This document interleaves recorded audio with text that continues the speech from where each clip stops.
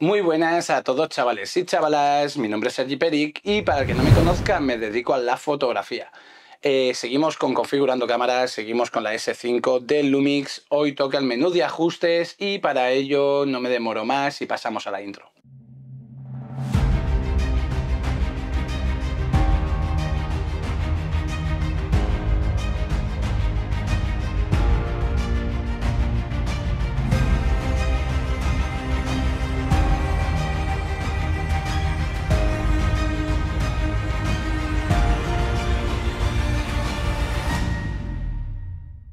Como os he dicho antes de la intro, hoy vamos a tocar el menú de ajustes de la cámara y bueno, por si te habías perdido algún vídeo de este curso, por aquí te dejo el enlace a mi página web donde vas a poder ver todos los vídeos de esta cámara de forma ordenada. Pero vámonos al ordenador y vamos a empezar con estos menús. El menú es el...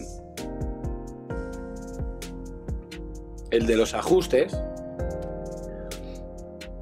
y este es muy muy completo, tiene un montón de opciones y de parámetros. El primero es la calidad de imagen, que desde aquí podríamos configurar el fotoestilo. De hecho, si os fijáis, eh, podemos configurar un montón de opciones del menú a través de distintos menús. Es una locura. El primero es para mostrar u ocultar fotoestilos. A lo mejor hay un montón que no quieres usar, pues desde aquí podríamos deshabilitarlos. Que solo los quiero los fotoestilos para, para vídeo.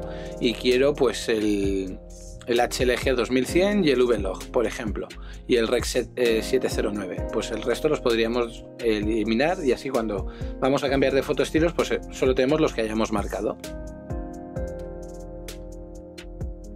Luego, configuración de mi fotoestilo. Desde aquí podríamos configurar nuestros propios efectos y estilos cinematográficos o incluso cargar configuraciones predeterminadas, si las tuviéramos en la tarjeta. Y restablecer los fotoestilos. La siguiente opción es la de aumentos de ISO, tanto para foto como para vídeo, y aquí pues podemos elegir entre tercios o pasos enteros. Es curioso porque no nos deja eh, medios como otras cámaras, solo nos deja o a tercios o enteros. Ampliar el ISO, pues lo tenemos activado para que pues, pueda subir a más de 51.200.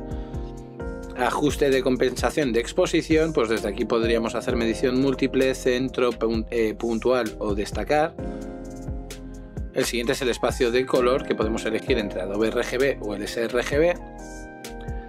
Reiniciar la compensación de exposición lo tengo desactivado. Autoexposición en, todos los eh, en todos los automatismos del dial. Y luego aquí tenemos el conjunto de película creativa que si entramos pues podemos darle a, a, todas las que hay. Pues entre ellas el balance de blanco, foto estilo, modo de medición, modo de autoenfoque y podemos ir modificándolas todas. El siguiente es el de enfoque y obturador, que como os podéis dar cuenta en la parte superior derecha tenemos un 1 y un 2, y es porque hay dos hojas. El primero es el de prioridad de enfoque u obturador, que si lo tenemos en, en modo sencillo, pues que priorice primero el enfoque y si lo tenemos en modo continuo, que dispare aunque no haya localizado el foco. El siguiente es el de conmutar el enfoque en vertical y horizontal eh, para si utilizamos la cámara en, vertical y horizontal, pues que, nos lo vaya sincronizando. Eh, mantener el autoenfoque y la autoexposición bloqueada, lo tengo desactivado, y el autoenfoque y el manual focus eh, o enfoque manual, pues también lo tengo desactivado. Luego lo que es la ayuda del enfoque manual, pues desde aquí pues tendríamos distintas opciones, anillo de enfoque, modo de autoenfoque, presionar el joystick, y mostrar ayuda en el enfoque manual, pues el típico PIP. Luego la guía del enfoque manual, pues desde aquí podríamos darle en metros, en pies o desactivado. Esto va muy bien, sobre todo por si sabes más o menos la distancia a la que vas a fotografiar, pues ya calculas y vas girando el enfoque. El bloqueo del anillo del enfoque para si le das de forma accidental que no te desenfoque la imagen y mostrar u ocultar el modo de autoenfoque. En la página 2 tenemos lo que es el ajuste de enfoque preciso, que si entramos, pues aquí lo tenemos en tiempo de enfoque, pues a medio, eh, largo o corto.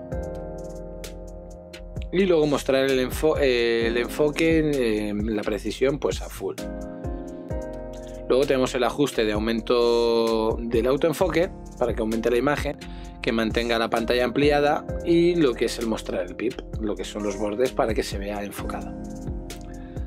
AF disparador eh, activado, pulsar eh, a mitad para que obture, lo tengo desactivado porque si pulsas a mitad ya dispararía y yo lo tengo configurado que para mitad enfoque y entero dispare. Autoenfoque rápido, aquí ahora mismo está desactivado. Sensor al ojo eh, en el autoenfoque activado. El marco del enfoque de movimiento en bucle está desactivado. El punto de inicio del autoenfoque continuo que tiene 225 áreas está desactivado. Luego aquí la configuración del Q-Menú. El Q-Menú pues es el botón Q que hay atrás y tenemos los estilos de pantalla. Tenemos este o este otro y ya pues cuando pulsamos el Q, es más voy a salir, entramos en el Q y aquí tenemos pues todas las opciones que nos da el modo Q y desde aquí podríamos modificar un montón de parámetros. Ajustes táctiles para la pantalla táctil, y aquí esta pantalla sí que es 100% táctil, tenemos la pantalla táctil activada, las pestañas en el táctil activadas, el autoenfoque táctil que sea autoenfoque más autoexposición, y el autoenfoque de toque táctil lo tenemos desactivado. La siguiente es configuración del bloqueo del funcionamiento y desde aquí pues podemos bloquear el cursor, el joystick, la pantalla táctil, el dial, el botón de disparador, podemos bloquear todo lo que quisiéramos.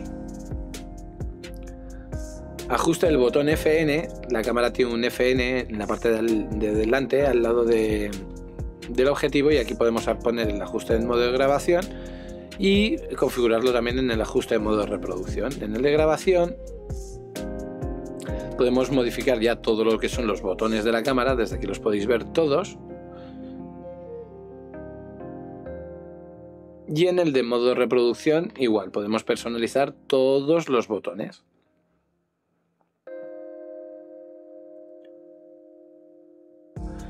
El siguiente punto es el de ajustar los botones de accesos directos y si entramos, tenemos dos opciones, eh, lo que son los accesos directos para grabar o para reproducir.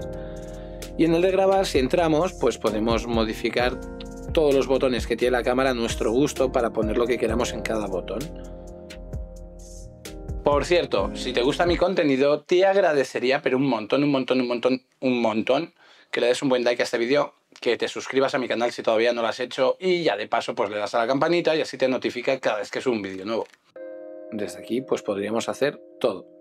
Y en el de reproducción lo mismo, podemos cambiar los botones a nuestro gusto. El siguiente es el, botón del balance de blancos, el de ISO y el de compensación de exposición. Y desde aquí pues, podemos ponerlos de distintas opciones. Yo los tengo puestos que cuando pisas el botón y giras el dial puedas modificar el parámetro del botón que estés pulsando. Eh, tras pulsar puedes cambiar el ajuste y luego eh, el de los ajustes que podrías cambiar, eh, que tienes que presionar el botón para activarlo y darle al dial y le tienes que volver a pulsar para desactivarlo. Vamos, que aprietas y giras, o aprietas y giras y al rato se desactiva solo y ya puedes seguir manejando la cámara, o activas, giras, por ejemplo, la ISO. Quiero más ISO, aprieto el de ISO, subo ISO, pero luego quiero cambiar la velocidad, pues tengo que volver a pulsar el de ISO para poder modificar lo que es la velocidad. Configuración mostrada, lo que es la ISO, ISO ISO. Podríamos poner el ISO límite y el ISO, desactivado y el ISO, el ISO y el ISO límite, el ISO y desactivado. Aquí te muestra que tanto con el, con el frontal como el trasero podríamos modificar tanto el balance de blancos como el ISO, como la compensación de exposición. O, pues, como bien pone aquí, pues si le damos al dial delantero que nos ponga el ISO límite, si le damos al dial trasero pues que nos modifique la ISO normal. Y así en cada opción. Siguiente es la configuración de compensación de exposición. Y desde aquí pues los botones del cursor arriba y abajo lo tenemos desactivado y frontal y trasero pues para cambiar lo que es la compensación de exposición. Podríamos incluso poner que para el delantero sea la compensación de exposición del flash y el trasero normal, el delantero desactivado, al revés o el trasero desactivado. Y el siguiente es el ajuste del selector que si entramos pues tenemos aquí eh, asignar el selector en F y en SS, lo que es la rotación del F y el SS, asignación de dial de control, compensación de exposición, bueno, esto es para cambiar los parámetros de cada ruleta y la sensibilidad de cada una. La siguiente es la de funcionamiento y en este pues tenemos el ajuste del joystick que lo tenemos en defocus en movimiento, le podemos poner como si fuera un acceso directo, le podemos poner el menú o podemos deshabilitarlo. Y el botón de vídeo remoto, desde aquí pues tenemos el Q-menú, eh, selector de grabación y reproducción, grabación de vídeo, bueno, podemos cambiar las opciones que quisiéramos.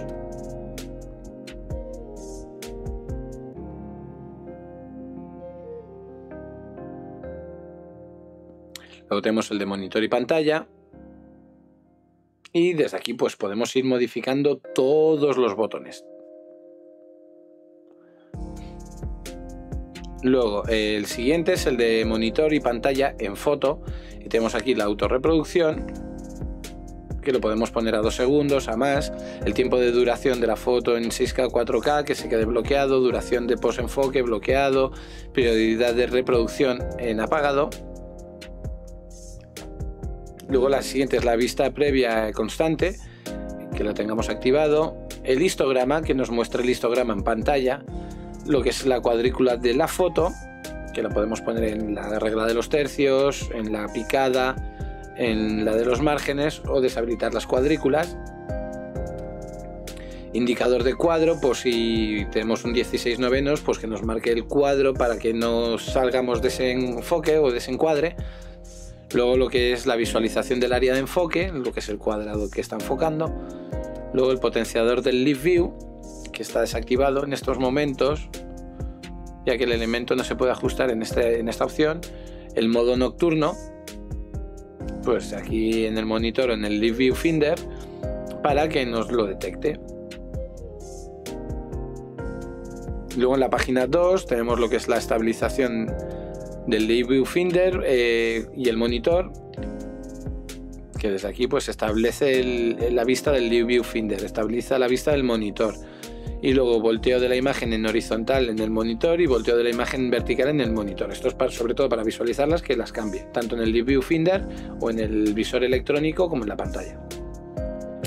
El exposímetro está activado para poder exponer bien a las luces y a las sombras, que nos marque la distancia focal en la pantalla previsualización de foto y vídeo, pues aquí tenemos para que nos previsualice la foto e incluso que nos previsualice el vídeo. Fotos y vídeos restantes, pues que nos marque las fotos que nos quedan para hacer o los minutos de vídeo que nos quedan por hacer en nuestras tarjetas. También nos lo visualiza en pantalla. Luego tenemos el, resaltado parpadeante, que lo tenemos desactivado, la superposición transparente, por si queremos eh, parar un vídeo y continuar, que nos superponga una imagen del fragmento último del vídeo anterior para que no se note el corte. Y luego el ámbito del estado de ley que también está desactivado.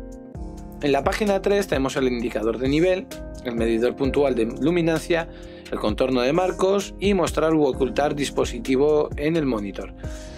Todo esto lo que nos facilita es eh, ayudas en pantalla para ver todos los parámetros de enfoque, todo, todo, todo. El siguiente es el monitor o pantalla en modo de vídeo y aquí tenemos lo que es ayuda de vista Nubelog, que lo que hace es cargarnos un Nubelog 709, lo que es un LUT que lleva predeterminado la cámara, ayuda de vista en LUT en el monitor o en, o en salida HDMI.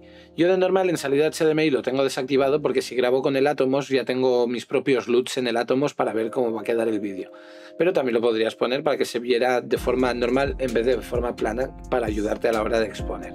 El siguiente es la ayuda de vista en HLG para cuando estamos grabando en Rec 2020 o en 2100 en HLG, lo que es un alto rango dinámico. Y aquí pues tenemos el monitor que podemos tenerlo desactivado o en modo 2 que es un Rec 709 dando prioridad al brillo o en el modo 1 que también es un Rec 709 pero dando prioridad a las zonas brillantes de la imagen y el HDMI desactivado, es decir, que nos mande la señal plana y limpia al monitor por si queremos grabar en el monitor.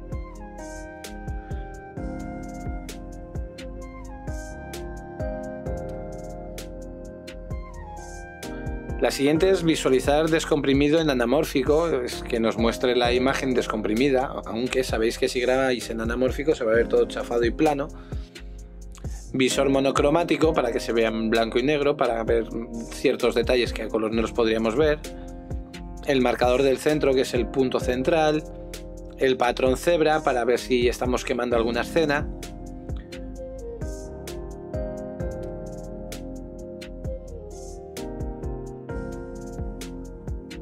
El siguiente pues es para ver lo que son las exposiciones a través de un vectoroscopio, lo que es cuando... Uy,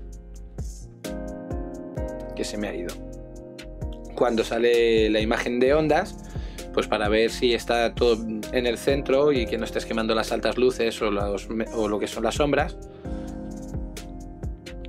Y luego tenemos aquí el indicador del cuadro que graba en rojo. Esto lo tiene la Sony, la ZV-10, que cuando le das a grabar, pues todo alrededor de la pantalla se pone con un marco de color rojo. Y con eso pues visualizamos que está grabando. La siguiente opción es la salida de grabación de HDMI, que ahora mismo no la puedo tocar. Pero desde aquí podríamos mostrar la info en la pantalla. Si por ejemplo estamos grabando desde un Atomos Ninja, pues tendríamos que desactivarlo porque si no se vería todo lo que vemos en pantalla. Luego el control de grabación por HDMI para poder controlar la grabación a través del monitor externo. Y luego el modo de grabación, pues el modo de bits 4K 50p o en 422 a 10 bits, lo podríamos poner. Y esto pues no puede grabar en tarjetas, pero sí que grabaría en átomos. ¿Desea continuar? Ahora mismo no, porque si no lo mismo se me va el gato al garete. Y luego salida del HDMI, el del sonido del HDMI, ahora lo tengo desactivado para que no entrara en, en la grabación a través del micrófono de la cámara. Y ya en la última tenemos lo que son las lentes y otros y tenemos aquí el reanudar la posición del objetivo. En la última posición que la dejamos lo tengo desactivado. Ajuste del botón FN del objetivo. Pues aquí tenemos lo que es el Focus Stop.